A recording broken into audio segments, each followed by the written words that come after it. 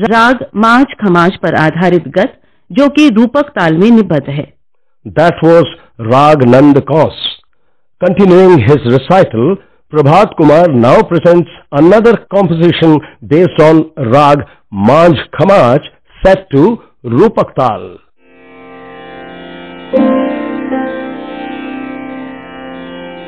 thank you